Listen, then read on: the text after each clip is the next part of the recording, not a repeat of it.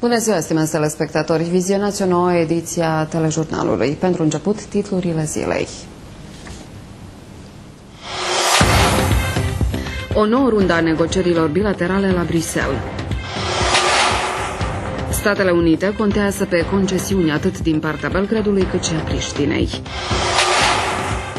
Premierul Voivodinei Boian Paitici a repetat astăzi că alegerile provinciale pot fi decretate doar în baza unei cereri întemeiate a Guvernului Voivodinei.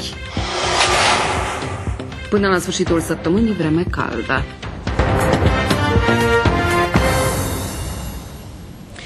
Premierul kosovar Hashim Taci a întrerupt astăzi după ora 16 negocierile trilaterale la Bruxelles, nemulțumit de oferta expusă de înalta reprezentantă a UE, Catherine Ashton, face cunoscut neoficial agenția Taniuc.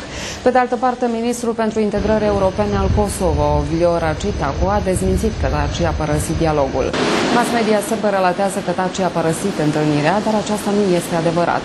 Sunt în curs consultări cu ambele delegații, a precizat Citacu pe Twitter. De altfel, dialogul direct al delegațiilor Belgradului și Priștinei cu Catherine Ashton au început în jurul orei 15.45 de minute, iar în momentul de față nu este clar dacă este vorba despre o pauză sau întreruperea negocierilor. Înainte de negocierile trilaterale au avut loc câteva runde de convorbiri separate ale înaltei reprezentante UE Catherine Ashton cu cele două delegații. Conform surselor apropiate delegației noastre, pe masa de negocieri a fost expusă o ofertă mai bună decât cea oferită Belgradului în cadrul rundei a opta a dialogului. Belgradul insistă asupra anumitor soluții în ce privește competențele comunelor sârbești în domeniile justiției și poliției și asupra faptului că în nordul Kosovo să nu fie prezente forțele kosovare de securitate. Statele Unite ale Americii au îmbunătățit oferta pentru Serbia în preajma negocierilor de astăzi cu Priștina, referitoare la concesiile în domeniul securității comunității sârbe în Kosovo, publică săptămânalul Novi Magazin. După cum se precizează, americanii contează atât pe concesii din partea Belgradului cât și a Priștinei. Conform planului american, forțele de securitate din Kosovo în următorii câțiva ani nu vor fi staționate în nordul provinciei. Propunerea subînțelege o perioadă de 3 până la 5 ani, în timp ce Serbia cere să fie 10 ani. În același timp, după cum relatează surse de la Bruxelles, forțele de securitate din Kosovo, respectiv viitoarea armată a Cosmetului, va putea interveni în nord doar în caz de intemperii fără arme. Cel de-al doilea punct al posibilului acord constă în autonomia de plină a comunității comunelor sârbești în domeniul învățământului, sănătății și protecției sociale, așa cum a prevăzut și planul Ahtisarii. Fără Serbia nu este posibilă independența Cosmetului. Acesta este un atu pentru ca Priștina, în cadrul negocierilor, să se constrângă și să accepte ceea ce este rațional și normal, a declarat președintele Tomislav Nikolic în interviul pentru televiziunea Happy. Președintele Serbiei susține că există o limită pe care Serbia nu poate să o depășească și ea constă în funcționarea instituțiilor de la Priștina pe întreg teritoriul Cosmetului. Vorbind despre Voivodina, președintele Nikolic a subliniat subliniat că Serbia poate depăși toate problemele și, prin urmare, și problema creată de conducerea voivodineană. Nicolici a precizat că nu se împotrivește faptului de a se deschide toate problemele în Serbia și că ele trebuie soluționate în cadrul instituțiilor. Președintele adunării Serbiei, Nebojša Stefanović, a declarat astăzi că așteaptă o ofertă mai bună pentru Serbia în cadrul negocierilor de astăzi cu Priștina la Bruxelles și semnarea cât mai recentă a acordului. Aștept ca astăzi, mâine sau în câteva săptămâni să stabilim acest acord, dar și să protejăm interesele sârbilor, a declarat Stefanović. Președintele Parlamentului a anunțat că despre înțelegerea care va fi stabilită se va examina și pronunța și adunarea Serbiei.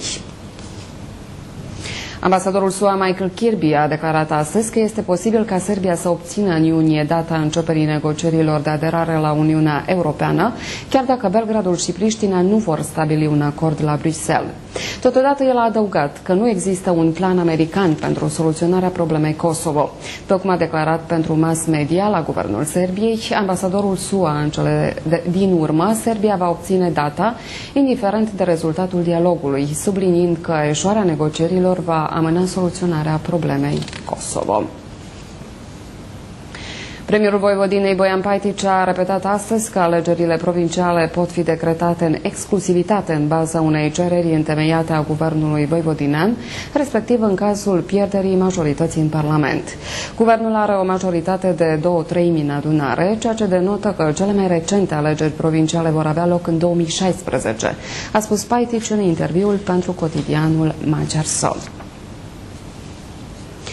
În adresarea sa deputaților în Parlamentul European de la Strasbourg, raportorul Parlamentului European pentru Serbia, Jelko Kacin, s-a referit și la evenimentele politice din Voivodina, precizând că recent s-a ajuns la o atmosferă politică tensionată între autoritățile centrale și provinciale în ce privește autonomia Voivodinei. Aș apela la toți factorii, îndeoseb la autoritățile centrale, să încerce să reducă tonurile îngrijorătoare ale acestui dialog, a declarat Cațin.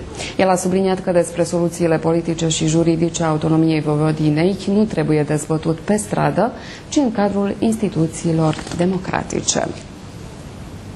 În cel mai nou număr al revistei Tinerețea puteți citi următoarele.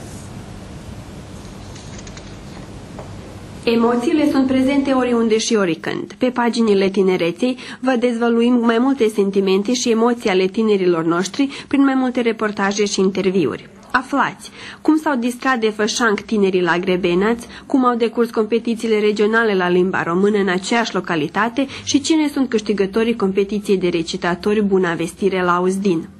Așii tenisului de masă, Anelia, Izabela și Dario sunt prezentați la rubrica Sport, iar cine este Doris Besu aflați la rubrica Muzica. Daniel Dajdea prezintă Parcul Național Frușca Gora. Ediția 18 a Cupei Școlarilor la tenis de masă s-a desfășurat la Nicolinți, unde gazdele și uzdinenii au cucerit aurul. Despre acestea și multe altele citiți în tinerețe. Miercuri seara, în cadrul programului Bună seara Voivodine, cu începere la ora 20, transmitem în direct de la Studio M al postului de Radio Novi Sad un concert de muzică culte, la care își dau concursul mezzosoprana Firuța Cina, violonistul Flavius Danița, mezzosoprana Olivera Miloevici, quartetul de coarde Novosadian, soprana Silvia Minea și quartetul Rockford. Vă așteptăm într-un număr cât mai mare la Studio M, miercuri 17 aprilie, la ora 20. Spectatorii sunt rugați să intre în sala studioului până la ora 19 și 45 de minute. Intrarea este gratuită.